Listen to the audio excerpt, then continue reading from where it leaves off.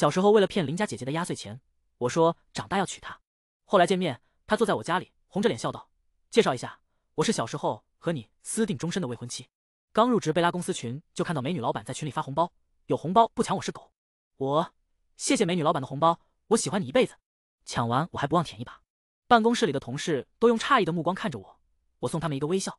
三岁我就会拿手机往上冲浪，五岁我就能把微博玩透，导致我从小就是个社牛。事实证明，社牛不管去哪都是社牛。整个办公室的人都送了我个大拇指，我九十度鞠躬致谢。我刚收红包不久，女老板就单独加了我微信。为了不尴尬，我主动点发了个问候的表情包，她没回我。我看到对方正在输入，可半天一个屁都没蹦出来。她该不会是想要拿回刚才发的红包吧？想想也是。毕竟我刚刚入职，一点业绩都没有。我主动把红包发了回去，对方回了我六个，他也不收红包。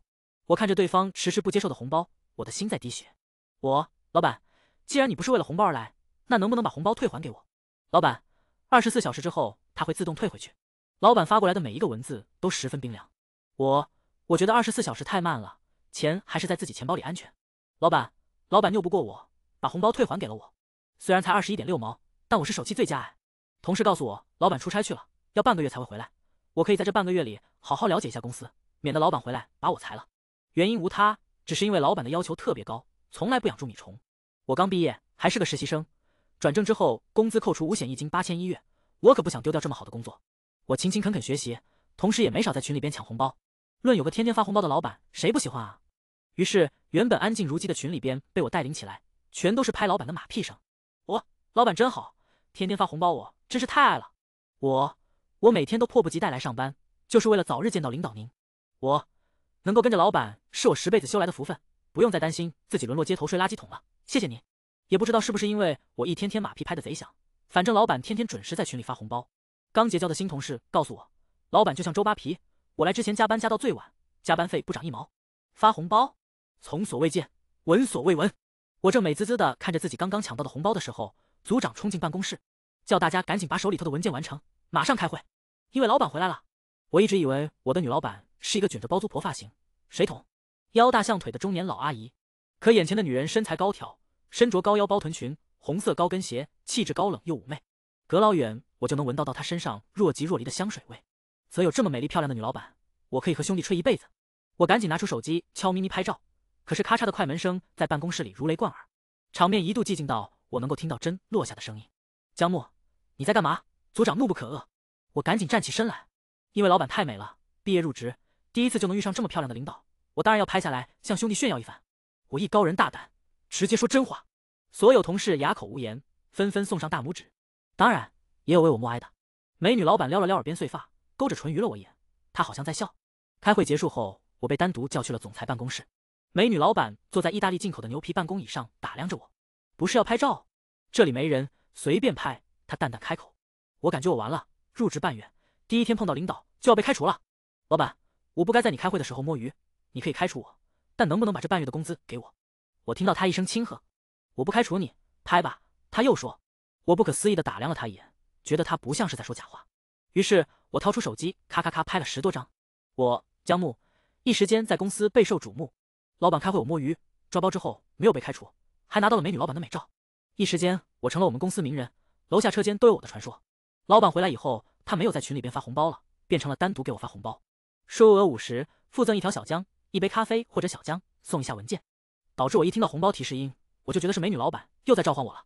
我和美女上司的微信聊天记录里最多的就是“老板我爱你”，“老板你真是太好了”，“老板我喜欢你一辈子”。我很享受我的舔狗生活，毕竟入职一月，光红包我就收了一两千，猫粮不用愁了。在我入职的第二个月，我妈给我打来电话，叫我回家吃饭。我一打开门，一入眼帘的就是我的美女老板江雪漂亮的脸蛋。她穿着黑色包臀裙，卷着大波浪，坐在沙发上。我赶紧退出门，看了一下门牌号，没错啊，这是我家。我妈从厨房探出头来，看到是我，把我推到江雪的面前，就是一顿介绍。完了还不忘告诉江雪，我有社交牛逼症。江雪整理了一下头发，勾唇看着我。原来江雪她奶奶和我奶奶是闺蜜，小时候我们住一个大院的。后来我爸妈为了赚钱去了城里，就把我带到了身边。我妈说，我小时候和江雪一起玩过，我记不得。毕竟她这么漂亮，我要是和她玩过，我肯定放心尖子上。我妈净瞎说。我妈介绍完，就钻进了厨房继续烧饭。聊了一会儿，我才知道今天是江雪的生日。我看了一眼我的微信余额，所以今天我要把我抢来的红包都发回去了。也不知道江雪是不是看出了我的小心思，一直含着笑看我。同事说他扣，果然不是瞎说。饭桌上，我爸妈给他包了个红包，他没收，我斗胆给他微信转账八百八十八，反正他也不收，怕啥？可是微信闪过一条，对方已成功接收，我直吐血。走的时候，江雪主动提出送我回去，我爸妈高兴坏了，我也高兴坏了。谁叫他收了我八百八十八？这车我必须坐。想起我是谁了吗？江雪开着车突然开口，我一脸茫然。你是收了我八百八十八红包的仇人，还能是谁？我在心里吐槽。江雪虚睨了我一眼，道：“小时候你回老家过年，看到我家里人给我包了很多红包，你眼馋，所以一直缠着我，想要我把红包给你。你说你长大了要嫁给我，会喜欢我一辈子。女人的钱都是给老公管的，反正早晚都是要交到你手上，早给晚给都一样。然后骗光了我所有的压岁钱。你走的时候拉着我的手，边哭边叫我把以后的压岁钱都藏起来，不许花掉，因为你会回来找我。我伸手抬着我的下巴。”防止脱臼。我小时候竟然干过这么缺德的事，我怎么记不得？可是江木，你找哪儿去了？迷路了？江雪的声音再度响起。我还在努力翻找我的记忆，可是我真的想不起来了。江木，说话。江雪的声音再度在我耳边响起。我看着双手打着方向盘的江雪，颤抖着嘴唇。有没有一种可能，我不是迷路了，而是忘了？说完这句话之后，我赶紧捂住了自己的嘴，因为我压根没想说出来，我只是在心里想了想。我把目光投给开车的江雪。果然，他的脸黑的吓人。我甚至觉得他要是再冲动一点，就会去撞前面的车。对不起，对不起，我错了。我不知道我小时候无意的举动，对你造成了这么大的伤害。我要是知道长大以后我的老板会是你，我肯定把我的压岁钱都拿出来供着你。假的，不可能，钱是我的命。不知道为什么，我好像听到了来自江雪的冷笑。为了验证这不是我的错觉，我眼睛瞪得像铜铃般的看着他。江雪不理我了，我也不敢说话了。太可怕了。难道我刚刚入职，还没有拿到工资就要被辞职了吗？可是五险一金，八千工资，周末双休，还可以天天收老板红包，这样的工作我上哪去找啊？我只是个普通的社畜，老天爷为什么要这么对我？江雪沉默着将我送到了我的出租屋，为了表示感谢，我来了个九十度鞠躬，谢谢老板送我回来，我喜欢你一辈子。江雪，他嘴角扯了扯，这话你经常说吗？他满脸黑线，我欲哭无泪，说多了已经变成口头禅了。我打小嘴就甜。奶奶，我都能叫姐姐，给我好处，我就能把人捧上天。逢年过节走亲戚，边收红包，我边在心口比心，嘴里还叫着谢谢，爱你一辈子哦。此时此刻，我的内心无比混乱，是主动辞职，还是等着老板踹我？我抬起眼睛，仔细观察江雪的神情，她皱着眉头，脸黑如炭。老板，要不进去坐坐？我指着掉了漆的大门说。我很明确自己有社交牛逼症，但是我的老板好像和我一样，也有社交牛逼症。他拿起我手中的钥匙，就打开了我家的大门，走进去，在墙壁摸灯开关的时候。那老化的电线电了他一下，我感受到他周身的空气结冰了。你是要请我坐坐，还是想要我的命？江雪皱着好看的柳眉问。我赶紧打开灯，屋子里的陈设映入眼帘，地板老的，桌子老的，沙发老的，柜子老的。没错，我租的是老房子。谁叫这房子便宜呢？一个月就五百。别人心不心动我不知道，反正我心动。虽然陈设都是老的，但是我打理的很干净。茶几上摆着鲜花，边上放着鱼缸，还有一只可爱的大橘，生机勃勃。我很热爱生活的。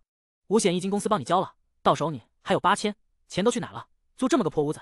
江雪有些生气，我撇嘴，肯定是存起来了啊，除去房租全存了。为什么存那么多钱？你欠债？校园贷？江雪不能理解，我摇头，才不是，这钱存起来养我未来媳妇的。那你的压岁钱呢？也存起来了，养未来媳妇？他又问。是的，我回答。江雪沉默了，我赶紧捂住我这张嘴，不知道为什么，向来牛皮吹上天。真话假话掺和着说的，我对上江雪只会说真话。他面如黑炭，肯定是以为我把他的压岁钱骗走，拿去养别的小女人了。我觉得我一定把江雪得罪了。回公司上班，我就像躲蔫了的花，悲痛欲绝的递上了我的辞职书。五险一金，八千工资，周末双休，还有老板的小红包，都与我无缘了。就在我怀揣着懊悔的心情的时候，微信响起江雪的消息，他又 V 了我五十。江雪，来办公室一趟。不是吧？我都提辞职了，他还不肯放过我？难道要我将小时候骗过来的钱都吐出来？他好过分，我心里愤愤不平，但是动作十分诚实，朝着总裁办公室就去了。老板，你找我？我用我从小到大舔人的专业笑容对江雪说。江雪二话不说，将我的辞职书甩到桌上。为什么辞职？是我给的不够多？对方给多少，我给双倍。江雪看上去很生气。对，对方，我不能理解。江雪皱眉，你不是找好下家了？我明白了。江雪误会，我被别的公司挖走了。没有下家，我这种才刚刚毕业的萌新，谁会收？真不是我妄自菲薄，刚毕业就能混个双休加五险一金八千工资，已经是上辈子好事做尽了。我的兄弟也在实习期呢，一个月一千八，每天高兴得像个二啊！拒绝了这样的一份工作，我真不知道接下来上哪去找薪资和待遇这么丰厚的工作。不知道为什么，我感觉江雪更加生气了。你没有找好下家，你就敢辞职？江木，你是听勇气长大的吧？江雪被我气笑了。我摇头，我最近在听《孤勇者》。江雪真的生气了，她的脸拉得老长。你辞职了，喝西北风？江雪捏着眉心，那还不是你太吓人了？提什么二是我骗光你压岁钱的事，这不是变招法叫我离你远一点吗？心里这么想，嘴上我全说了出来。我怀疑我得了一种病，一种碰到江雪就只会说真话的病。江雪定定的看了我两眼，不知道在想什么。工资加到一万，双休和五险一金不变，干。他说：“卧槽！”我耳朵地震，还有这样的好事？于是乎，我赶紧舔了上去，干。老板叫我往东，我不敢往西。我笑，刚毕业就月入过万，他不是我的老板，而是我的衣食父母。江雪叫我去给他泡咖啡，又叫我给他订酒店，甚至还叫。我给他去准备开会要穿的衣裳，确定我这不是升职做了他的生活助理。不过再也不用和那些烦人的文件打交道，也不用和总监大眼瞪小眼，实在是有点爽。晚上加完了班，江雪亲自将我送到家中。我本想拒绝，但是想到他收了我八百八十八的红包，让他当个免费的司机不过分吧？反正又不是天天送我。我美滋滋的回到家中，抱着我的大橘分享今天的快乐，想着又拿起手机，这么快乐的事当然是要和好兄弟分享了。怎知我刚抽出手机，家里的电就跳闸了。我租的是老房子，跳闸这种事情经常发生。我熟门熟路的去到电闸那里，是电烧了，还冒着火花。我赶紧找来灭火器，扑哧两下就把火灭了。今天的快乐在电跳闸中结束。门口传来敲门声，我从猫眼看了一下，是江雪。咋了？我打开门，屋子里黑漆漆的，要不是还有走廊上的声控灯，整个世界都是黑的。江雪打开手机的手电筒模式，进屋巡视了一圈，目光落在电闸和灭火器上。她现在的脸色，拿冰溜子来形容没差。他动动唇，我估摸他是想骂我租的老房子不好，但他好脾气的收住了。去我那儿，江雪深吸一口说：“孤男寡女共处一室不方便吧？”我说。江雪扯着唇，嗯，你这里挺方便。明早要是迟到扣工资，别给我哭穷。末了，他又说。最终，我臣服在老板的淫威之下，带上衣服和大橘一起跟江雪走了。江雪住在市中心最繁华的小区，一进门，智能管家就自动打开了所有的灯。虽然我家没有江雪家里这么高级，但是也不差。只是我这人抠门，选了个老房子，这不就惨了呗？其实我早就在物色新的房子了，工作忙加上房子难找，就一直搁置了。踏进江雪家，她给我准备了一双女男士拖鞋，我穿着刚好。不过她一个女人家里头有男士拖鞋，岂不是意味着她有男朋友？你男朋友知道了会不会不太好？我站在门口，我可不想被人当成是隔壁老王。江雪扑哧笑出声，你没看到拖鞋是新拆的？说着，她把我拉到另外一间主卧，以后你就睡这里，以后。江雪莞尔一笑，今天这样的事情我不想再发生了。你是我的员工，我要对你负责。我打量了一下整个屋子，有些为难。免费的，他又道，我就知道上帝为你关掉了一道门，就会为你打开一扇窗。我高兴的抱住江雪，那真是太好了，江雪，我爱你，我爱死你了。江雪看着我，眼底都是笑意。M 的，这是我祖宗，我刚才好像亵渎了他。那我先去洗漱了哦。说着，我溜进门，把江雪隔绝在外。我可不能因为犯浑被江雪撵出去。洗完澡。躺在柔软的双人大床上，我感觉这一切梦幻至极。我发誓，我一定会好好工作。但凡我开一下小差，都是对这一万块工资的不尊重。第二天，我特地比平时早起了半小时。江雪人这么好，我可不得出门给她买个早饭啊！但是我起来，厨房里飘荡着的香味是怎么回事？所以江雪已经做好了早饭了。难得的表现的机会没了。看到我，江雪从微波炉里拿出两块三明治，放进盘子里，端到餐桌上，又拿过来两杯热牛奶。不好意思，我起晚了。我说。这可是比我平时早起了半个小时。江雪只是笑笑，赶紧吃，吃完了饭，等会儿去你那儿把东西都搬过来。江雪命令式的语气对我说道：“我房租还有半个月才到期。”江雪看了我一眼，笑：“我都给你免租了，你还惦记着你半个月的房租？你真是像个吝啬的小奶狗。”不知道为什么，我感觉他对我有那么一点宠溺。我赶紧低下头吃早餐，一定是我的错觉。我只是一个小时候骗光了他压岁钱的员工，他不杀了我泄愤就不错了。工资加了，职位也调了。这是我这辈子以来的高光时刻，我和兄弟分享了这快乐。江雪还是会给我发红包，每次都是五十，我很高兴的收着，工作也更卖力了。我将所有的东西都搬到了江雪家里，放进属于我的那个房间。他告诉我家里头的东西都可以随意用，不用跟他客气。我点头答应了，我会用，但是随便用还是不敢的。我就是再社牛，也不敢那么放肆啊。正式将所有的东西都搬到了江雪家之后，我给江雪转账赚了两千。贪小便宜这种事情还是不能做的。他这房子这么好，这就给了我一间住。要是有天我辞职，他跟我翻脸咋办？把钱发给江雪之后，我就心情舒爽的洗澡去了。回来看到自己的手机上好几条未接电话，我赶紧走出房门，江雪就站在我的门前。江雪，怎么了？我问他。江雪将转账记录给我看。为什么给我转钱？我嘿嘿笑了笑，和他解释了一下。他二话不说，拿起手机将钱退了回来，说了免费就是免费，不用跟我一客气。江雪说。但是要是有一天我辞职了呢？我问。要是我辞职，他心情不好，不给我开门，我们又没有租房合同，他把我的东西丢了扔了，我都没有地方说理去。只见江雪伸手扶额，我不会将你开除。只要你别像之前那样说辞职就要辞职就好了。他说：“你的意思是，只要我想干，我就可以一直在你的公司干嘛？”我问。江雪二话不说点头。我笑了一下，拿出手机录音机。那你留个证据，就说我江雪允许江木一直在公司干到老。江雪身子一僵，耳尖逐渐泛红。她拿过手机，说下了刚才那句话，还加了一句：“房子也随便江木住。”接下来轮到我脸红了，气氛有那么一丁点的微妙。我赶紧拿回手机。好了，证据已经留下了，那我就继续去洗漱了。江雪点头，目送我关上了房门。躺在床上，我将录音拿出来听了好几遍。江雪的声音好听，内容也好听。又过了几天，我妈来了，送了很多的特产来。看到我妈在江雪家里的时候，我懵了。妈，你听我解释，我现在是租在江雪的家里，我和她什么都没有。我身子抖了三抖。虽然我是个社牛，但是我出生在一个传统家庭，父母也是传统人，是绝不允许我乱搞的。我好怕我妈把我爸叫来打断我的腿。我妈朝我翻了个白眼。好像在说我想多了。江雪早就和我说过了，想把你接到她这里来住。你租的那破房子吓你妈我就算了，还差点把人家江雪也给吓着了。你就不怕你哪天半夜起火人没了？我妈无情的吐槽我，要是我再脆弱一点，我就自杀了。但是我是社牛啊，我配着灭火器，死不了人。江雪和我妈都无语了。我妈选择全程和江雪说话，搞得好像江雪是她亲生的。我妈走时，我拉着她，你别告诉我，我有一个同母异父的姐姐。你没姐姐，你有病，别挡我道。我妈走了，针头也不回的那种。这女人无情。自从我和江雪一起上下班，还坐同一辆车去上班，公司里边就多了不少的流言蜚语，说的大抵是我吃软饭、癞蛤蟆想吃天鹅肉之类的话，也不知道是从谁的嘴巴里传出去的。等我知道的时候，楼下车间里都是我和江雪的流言蜚语了。这天我去员工办公室拿文件，连我之前新交的同事都在和大家谈论这件事。我闷闷不乐的拿着文件回来，江雪问我怎么了，我没说。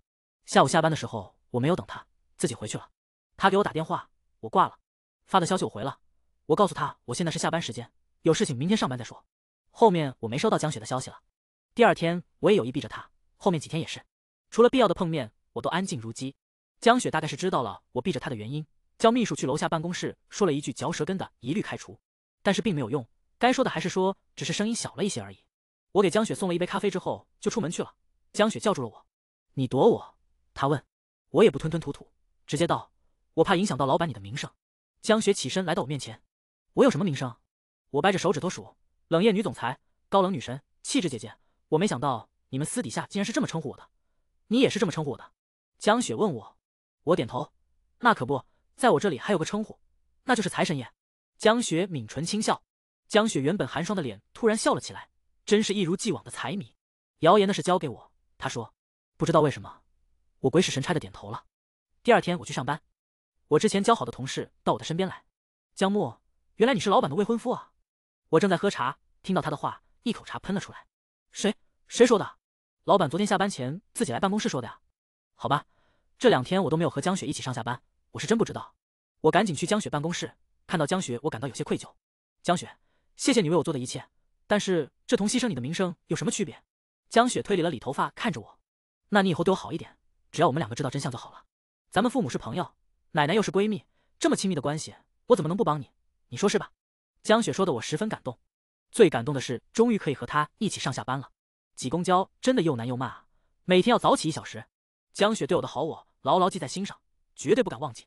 我特地买了一个菜谱，周末的时候拉着江雪去菜场，随便挑。今天本公子烧。江雪若有所思的看了我一眼，在菜场转了一圈，买了不少菜。付钱的时候，我利索的拿出付款码给卖菜阿姨。今天付三百。砰！虽然这不是我第一次烧饭，但是我真的不会烧饭。江雪赶紧冲到厨房，看到锅盖躺在地上，将我推出了厨房，并叹了一口气，叫我好好在沙发上坐着。我想找个地缝钻进去，明明是要烧饭，但是变成了烧厨房。江雪做好了饭菜，我为了缓解刚才的尴尬，使劲拍马屁。江雪，你手艺真好，你以后的老公是个有福之人。我替你未来老公感到幸福。他勾着唇听我吹牛，吹着吹着，我不好意思了，闭上了嘴。洗碗的事情肯定是交给我的，不然我真的不知道在江雪面前该如何自处。我的猫最近不对劲，总是喵喵叫，还挠门，嘘嘘遍地都是。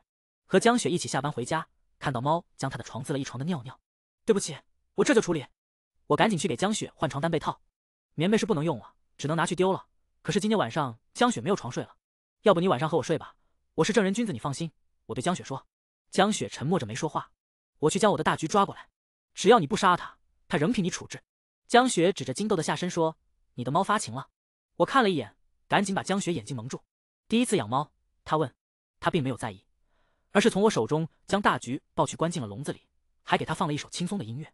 我叹了口气，不好意思，第一次当爸还没适应。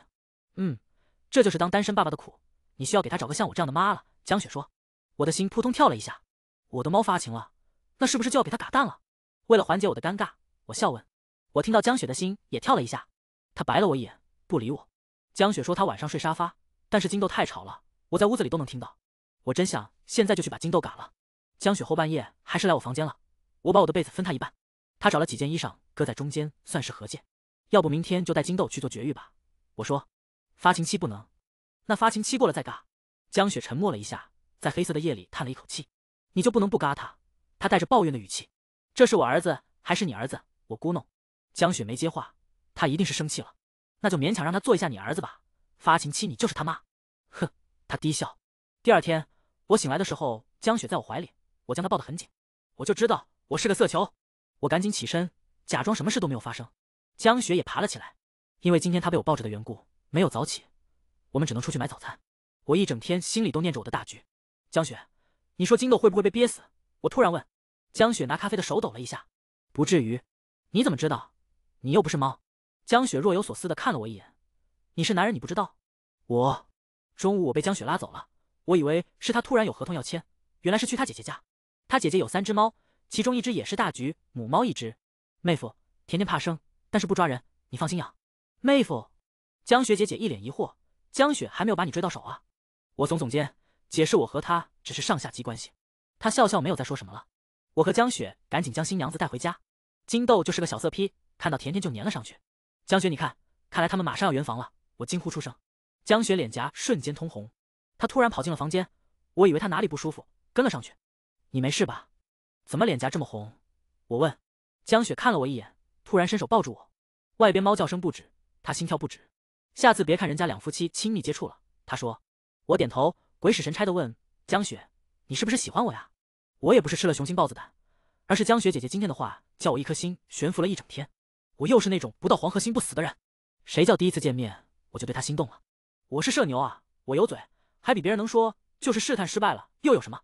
江雪看了我一眼，无奈的叹了口气，知道还问，你就不怕我？怕你什么？我追问。江雪踮起脚朝我吻了过来，我第一次接吻，差点憋死。江雪大概是发现了我的窘迫，放开了我。我像是溺水上岸的人，大口呼吸着空气，心里却小鹿乱撞。你这样就不怕我？我紧张到吞吞吐吐。江雪听着我的心跳，笑出了声，不怕，你负责就好了。我心快跳出了嗓子眼。果然，美色面前，我是把持不住的。关于我想把江雪扑倒这个想法。从第一次看到他就有了。我没想到的是，我真敢。第二天早上，我们坐在餐桌上大眼瞪小眼。你妈那边，我会告诉她是我先动的手，抱歉。我好想穿回昨晚抽自己一耳光。我竟然真敢扑倒我的财神爷，我吃了雄心豹子胆。那我们什么时候领证？还有婚期，你想要定在什么时候？江雪十分期待的问我。啊，这这么快吗？我真的可以把我的美女老板的娶回家？完全不敢想好吗？而且领证、结婚，太快了吧？江雪面如土色。是我技术不好，你不满意？我可以学，第一次不太会，以后会越来越好的。我的心仿佛被电了一下。M 的，这是我不花钱就能听的吗？就在这时候，我又听到了金豆和甜甜的声音。大白天的，他们也不节制一下。我和江雪低头吃饭，我满脑子都是昨晚发生的事。这层员工关系终究是变质了，没有鲜花，没有红酒，我们在金豆和甜甜的猫叫声里确定了关系。江雪一定要我带她去见我父母，虽然之前见过。我妈高兴的做了一桌子美食，我爸也拿出了。他珍藏多年的酒，餐桌上，我爸叫江雪留下，我妈也说今天别走了，等会儿就把家里的客房整出来。于是我和我爸你一杯我一杯，喝不停。你们先喝着，我去整理一下客房。酒过三巡，我妈起身，妈别忙了，江雪和我睡就可以了。我说，说完我就后悔了。我妈一愣，我爸直接弹起来了。江雪还在给我爸倒酒，我妈和我爸对视一眼，我不知道这俩人心照不宣了啥。只见我爸找了个大碗来，倒了满满一碗酒，递到我的面前。我们家有个规矩，没有结婚前不能欺负人家女孩子。今天老姜不在，所以我代他和你喝。我爸说，接着十分和蔼可亲的看向江雪，说：“闺女，你放心，今嫁给我儿子，你就是亲闺女。”我看着我爸递过来的满满一杯干白，他怎么能欺负老实人呢？我妈也不去整理客房了，伸手掐了我腰一下，怪我和江雪发展速度太快。我爸我爸都喝醉了，最后我妈把喝醉的我交给江雪，江雪把我扶到我房间，她刚准备给我解开扣子擦拭身体，我就坐了起来。你没醉？江雪问。我摇头，只是没醉成我爸那样。他看了我一眼。偷笑，你家果然传统啊！江雪也要带我去见他爸妈。他说他爸爸是退伍军人，他妈妈是教师，也刚退休。我从来没这么紧张，我可是社牛啊，我怎么能紧张呢？我是叫你父母叔叔阿姨呢，还是叫伯父伯母？他们应该更喜欢你叫他们爸爸妈妈。江雪凑在我耳边说，她温热的呼吸让我一整脸红。门突然打开了，看到我，江雪妈赶紧就将我拉进了屋。社牛的我生平第一次这么安分的坐着。江雪看我这么老实，抿唇笑了很久。江木啊。你这孩子一表人才的，真是太招阿姨喜欢了。我家姑娘向来高冷，她要是欺负你，你就告诉我们夫妻俩，我们帮你撑腰。我忙摇头，她是女孩子，我让着她是应该的。临走时，江雪爸妈还塞给我红包，他们说这是见面礼，叫我别客气。我怎么会客气呢？谢谢爸爸，谢谢妈妈，以后咱就是一家人了，没什么好客气的。你们的就是我和江雪的，我和江雪的也是你们的。接过红包，我的马屁就飞天了。刚才我还是羞涩的小奶狗，这会儿我比村口大妈还会说。我要看着江雪爸妈沉默着对视了一下，两个人从怀里一人取出来一张银行卡。好孩子，你真是太讨人喜欢了。我就说该早点让江雪来找你的吧。我妈定下这门亲事真是定对了。哈哈，我虽然我的手里多了两张银行卡，但我还是懵。和江雪坐上回家的车，我将银行卡装进包里。你妈说的亲事是怎么回事？江雪这才将婚事的事告诉我。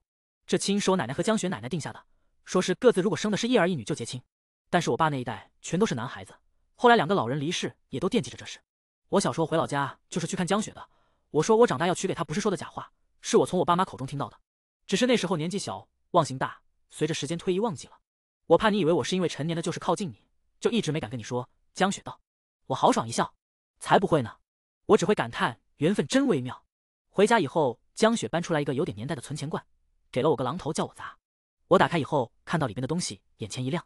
红包，红包，全是红包，这些都是给你的，是你说的，叫我全部存起来，长大了交给你。江雪一边整理红包一边说：“他哪里高冷了，分明好乖。”看着这么多钱，我伸手搂紧他，并悄悄将银行卡塞进他的手里。你以后就是我的老婆了，这些都是给你的。江雪二话不说，全部塞回了我的手中。给你的就是你的，这些都是你的私房钱。不过你存着的老婆本可记得一定要给我，那可是你给未来老婆准备的呢。他笑道。我狠狠点头。我和江雪结婚了，不管是女方亲戚还是男方亲戚，都被我夸上了天。给钱的时候，他们一边笑一边塞我红包，一点也没觉得不舍得。婚礼上，他爸把江雪的手交到我的手上之后就不见了。后来我听我妈说，他躲在厕所里哭得泣不成声。于是我们婚后买了一套房子，就在我家对门。江雪放假回去，是回婆家，也是回娘家。和江雪结婚的第三个月，她就怀孕了。经过两家人商量，她开启养胎日子，公司的工作全落到了我的身上，她则负责管财。她今天睡婆家。明天睡娘家，孩子生了之后，今天江雪妈伺候她月子，明天我妈伺候她月子，没有婆媳斗争，也没有家庭争吵，没什么。我社牛，还嘴甜，任何矛盾都能在我的三寸不烂之舌下大事化小，小事化了。金豆和甜甜生了四只小奶猫，两个大橘子带着四个小橘子满地跑。我儿子出生的时候，小奶猫趴在我儿子身上采奶。夜里我在工作，江雪突然微了我五十，还说：“老公想不想要二胎？”想到美丽漂亮的老婆，我默默关掉了电脑。